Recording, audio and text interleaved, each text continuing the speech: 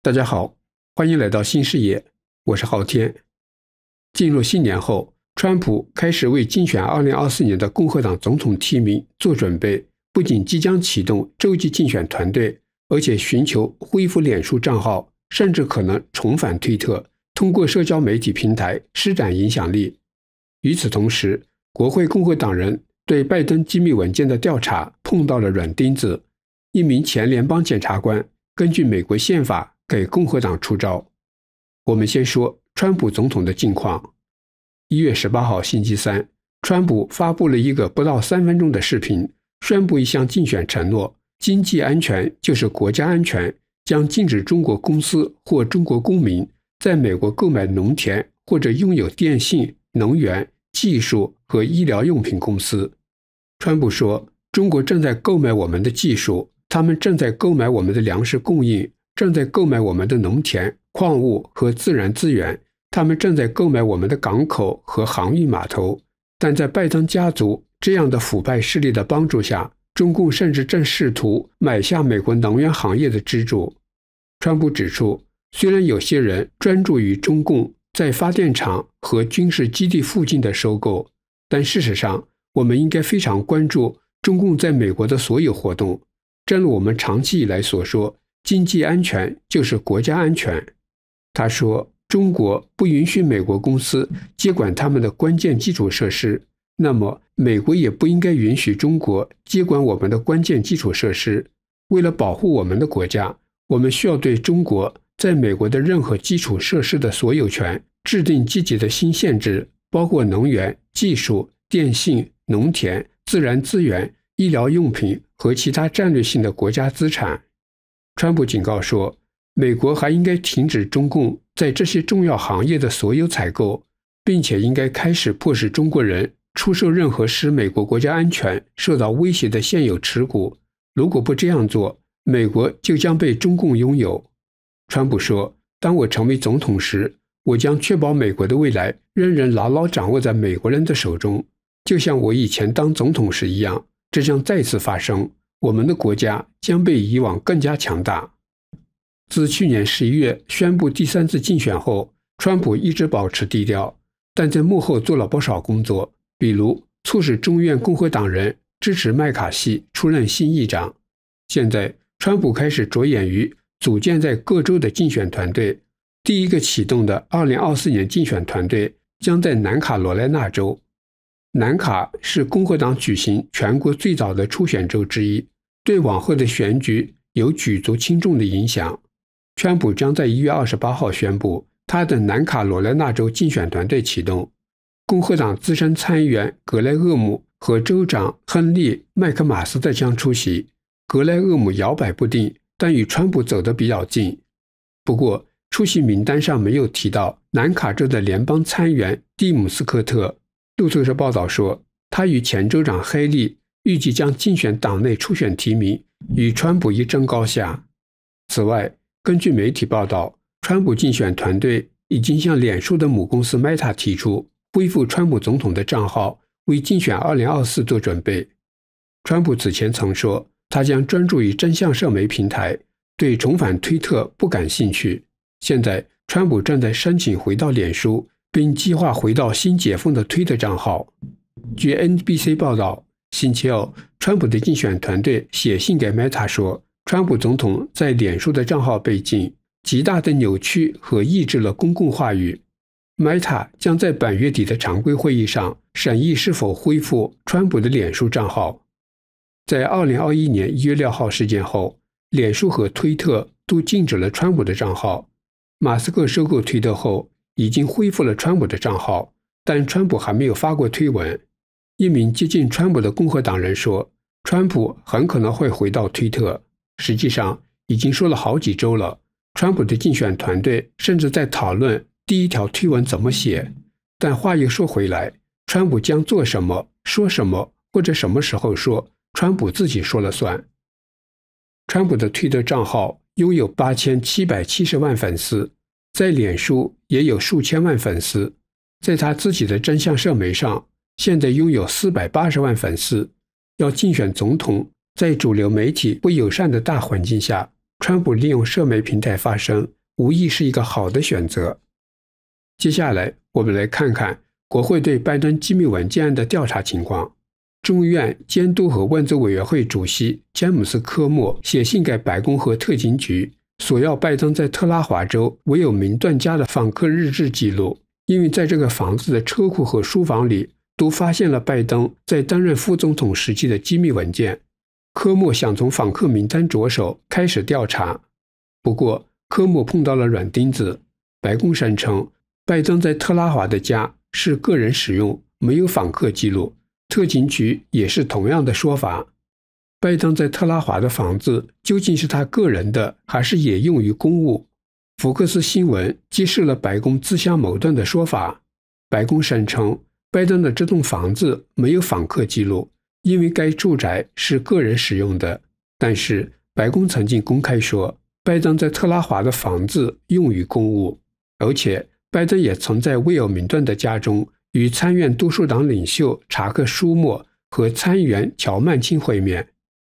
二零二二年二月二十五号，时任白宫发言人普萨基就在新闻发布会上说：“拜登可以在任何地方完成工作，因为总统的装备就是这样的。”当时，拜登正前往特拉华参加一个家庭成员的追悼会。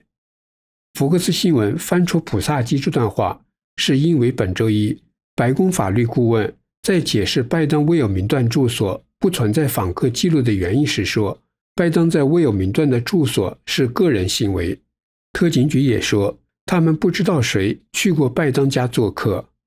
针对这个说法，前联邦检察官安德鲁·麦卡锡撰文说：“不要相信特警局，查清真相是国会的工作。”这名检察官说：“假设联邦调查局正在调查针对总统的威胁。”并且其中一条相关的调查线索涉及弄清楚，在过去二十三个月的某个时期中，谁曾经访问过拜登在特拉华州的私人住宅。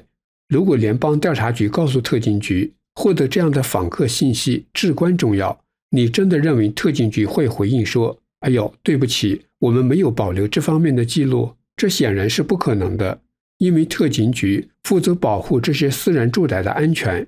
即使拜登本人不在现场，但是面对国会的调查，白宫和特警局都打太极拳，因为国会获取与拜登错误处理机密信息有关的细节，肯定对拜登及其政府不利。麦卡锡认为，这是国会共和党人要吸取的教训，不要依赖白宫或拜登政府的好感来获得这些细节。毕竟，人们刚刚开始了解到。司法部让拜登自己的律师搜查他的住所，以寻找机密文件。麦卡锡说的是《华尔街日报》星期三的报道。一些现任和前任执法官员说，拜登的私人律师在拜登的特拉华的家和在华盛顿宾夕法尼亚拜登中心的前办公室搜查机密材料。司法部拒绝让联邦调查局特工到现场监督。麦卡锡强调。这一教训尤其应该引起众院共和党人的共鸣，因为他们现在已经拥有了传票权。不过，目前媒体和民主党人已经说，国会传唤证人，并就拜登不当处理机密文件的问题进行听证会，这将干扰司法部长亲自挑选的特别检察官的工作。那么，在美国的宪法体系中，在三权分立下，对总统的不当行为进行调查。究竟是由国会去做呢，还是应该由司法部任命的特别检察官去调查呢？麦卡锡说，在美国的宪法体系中，对总统的不法行为进行调查的是国会，而不是为总统工作的检察官。事实上，宪法制定者们对由检察官来调查总统感到困惑。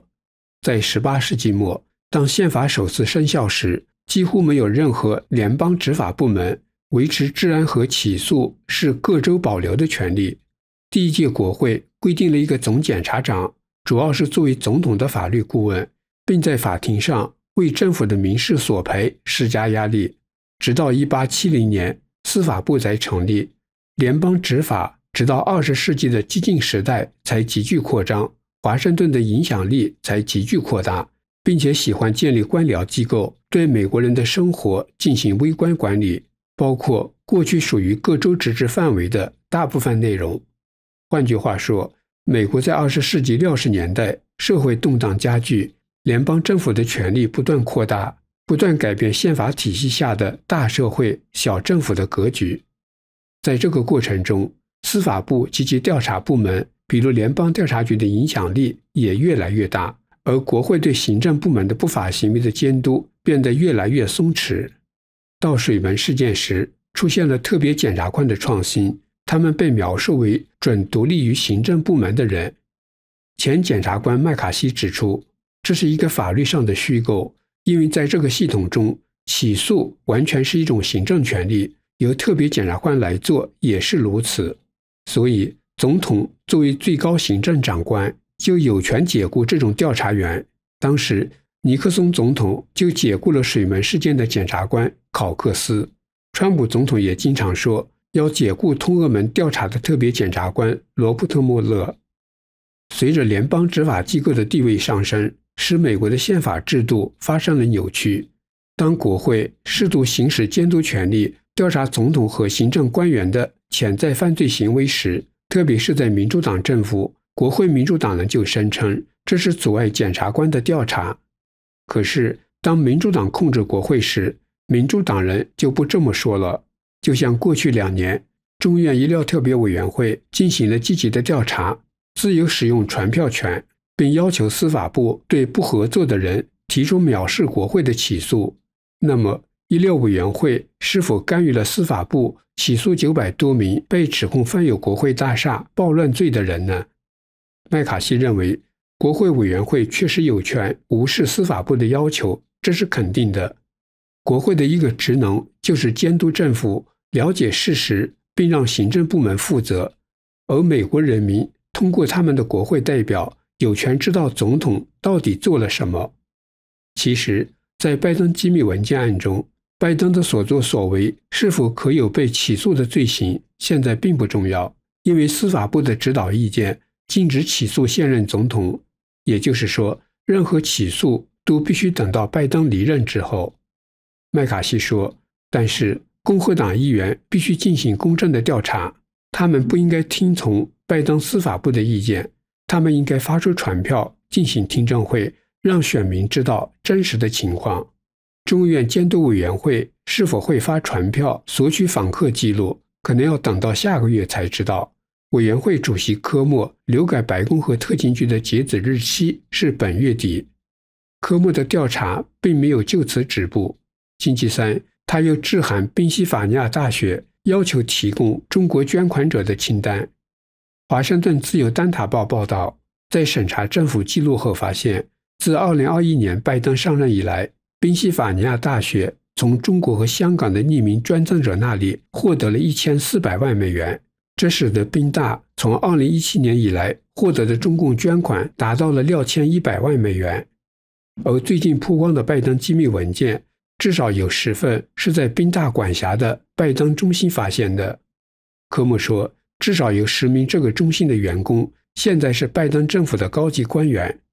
拜登本人从2017年到2019年在这个中心赚了九十多万美元。